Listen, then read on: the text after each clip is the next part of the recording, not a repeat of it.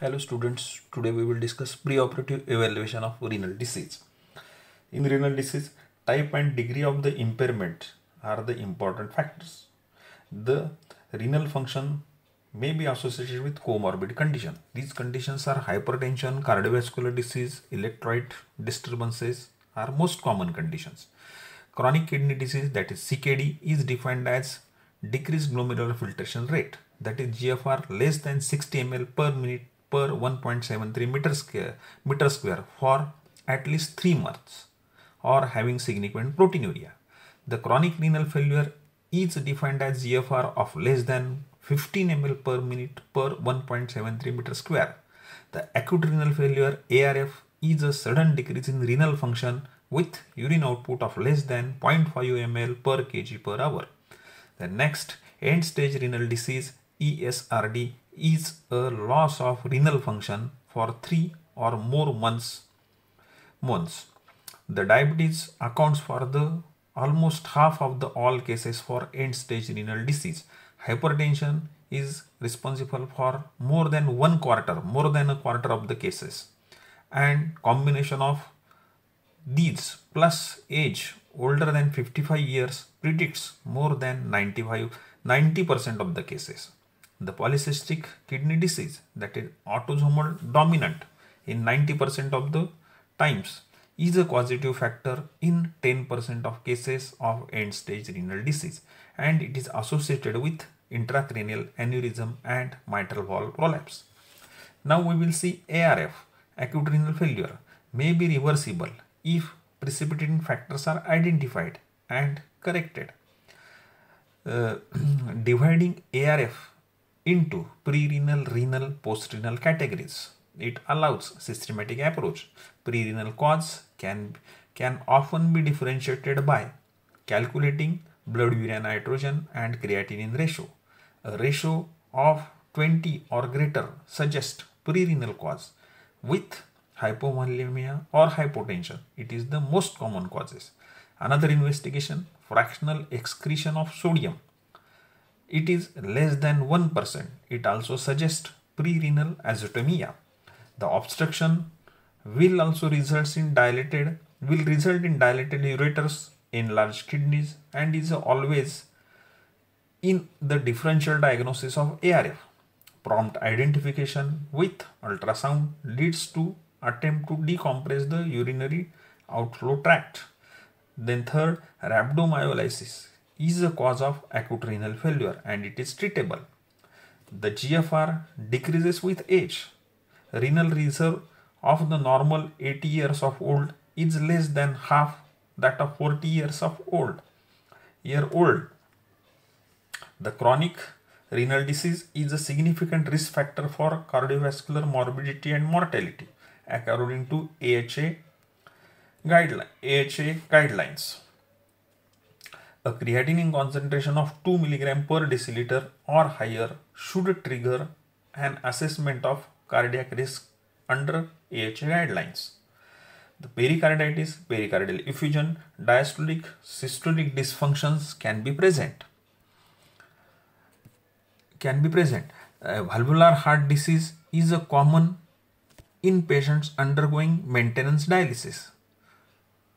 The abnormalities include valvular and annular thickening. Most, signif most significant calcification heart valves result in regurgitation and stenosis. Mitral and aortic valve calcification is more common and stenosis is common in 11 to 13 percent cases where the mitral and aortic valve calcification present in 40 to 55 percent of the cases. The systemic hypertension is also most common. Now we will see renal failure. The renal failure results in anemia. It is because of lack of erythropoietin production by the kidneys. But in present era, aggressive erythropoietin replacement, many of these patients have normal or higher hematocrit concentrations. Patients with CKD can have platelet dysfunction and increased bleeding despite of normal platelet count and normal prothrombin time and APTT. Once on dialysis, patient may be, may be more prone for hypercoagulable states. Chronic metabolic acidosis is also common and usually mild and compensated by chronic hyperventilation. Patients may exhibit electrolyte and calcium abnormalities, pulmonary and peripheral edema, anemia, hypercholesterolemia, and hypoalbuminemia. The hyperkalemia is most serious electrolyte disturbance. Hypocalcemia is common with dialysis and eventually secondary and tertiary hyperparathyroidism may develop.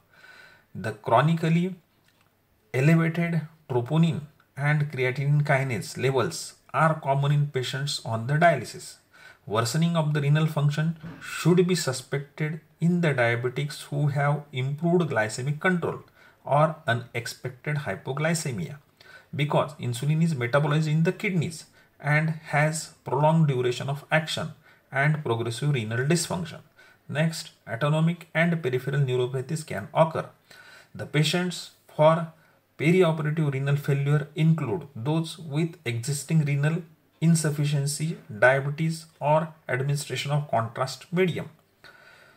The preoperative identification of risk patients alters the management such as hydration, administration of sodium bicarbonate, change in type, type of the contrast medium. Non-steroid anti-inflammatory drugs, NSAID and COX-2 inhibitors interfere with the autoregulation of the renal perfusion and should be avoided or discontinued in patients with or risk or at risk patients for renal insufficiency. Then cyclosporin and aminoglycoside antibiotics can cause renal insufficiency. Then ACE inhibitors or ARBs prevent, pre prevent deterioration in patients with the diabetes or renal insufficiency but may worsen function during hypoperfusion states. Many of the, then many of the metabolites are cleared and cleared by the kidneys.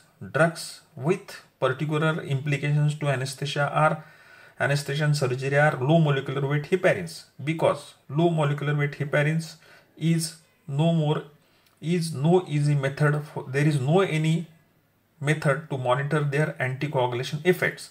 All low molecular weight heparins are cleared by the kidneys and are not removed by the dialysis. Therefore low molecular weight heparin has prolonged duration of action in patient with CKD this risk of significant therefore there is risk of significant bleeding or hematomas with central neuraxial anesthesia anesthesia may be increased.